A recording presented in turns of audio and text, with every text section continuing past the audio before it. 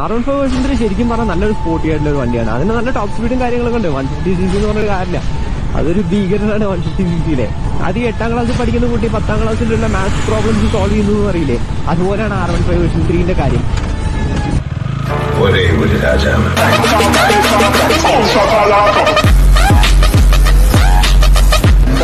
പോക്കായിരുന്നു